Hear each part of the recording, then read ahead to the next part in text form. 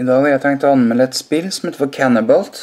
Det er et ganske enkelt spill i design og utførelse, men faktisk ganske utfordrende og avhengighetsskapende. Vi skal ta en titt på det. Grafikken er enkel, og med enkel mener jeg veldig enkel også i iPhone-standard. Men her er det ikke grafikken som teller. Du kan logge inn i spillet, sånn som du ser her nå, så jeg logget inn som MacGeeky.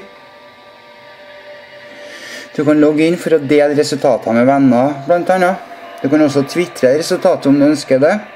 Poenget i spillet her er å løpe lengst mulig på banen som er Og du skal hoppe over diverse hindre. hindre. Det gjør du ved å touche skjermen på denne måten. Her er det objekter du kan treffe på når du springer.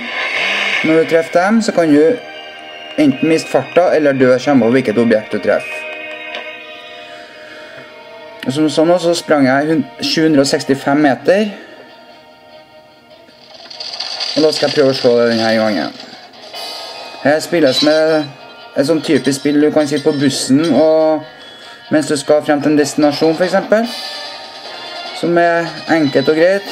Du slipper å bruke hjernen så veldig mye. Det er bare å få tida til å flyte og ha det litt moro. Problemet med spillet er at akkurat for øyeblikket så syns jeg det er ganske dyrt i, til iPhone-standard å være. Spillet er ganske enkelt, som sagt, og det koster nå 17 kroner i AppStore. Eh, det syns jeg er litt for dyrt i forhold til hva du får igjen, men samtidig så gir spillet deg veldig mye Det gir deg en utfordring, og det gir deg en mulighet til å kaste bort litt tid. Samtidig som at det gir deg en avhengighet ekstra å tenke på i hverdagen. Om det er positivt, vet ikke jeg, men uh, i spillsammenheng så er det vel det. Da skal vi ta en, et løp til her nå, hvor jeg faktisk konsentrerer meg om å løpe.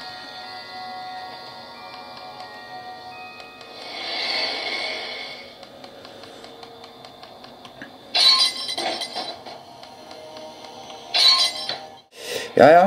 Spillet koster som sagt 17 kroner akkurat nå i AppStore. Om vi anbefaler i telefon? Tja. Vi gjør egentlig litt dyrt til det, men spillet gir deg en god utfordring, og noe gjør f.eks. når du sitter på bussen. Spillet får 3,5 stjerner fra oss. Det trekkes pga.